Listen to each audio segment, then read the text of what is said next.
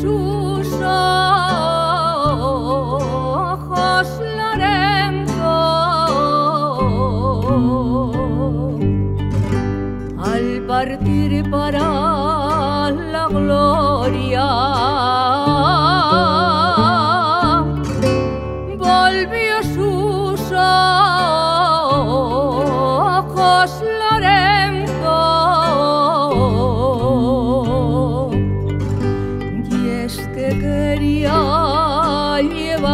Llevarse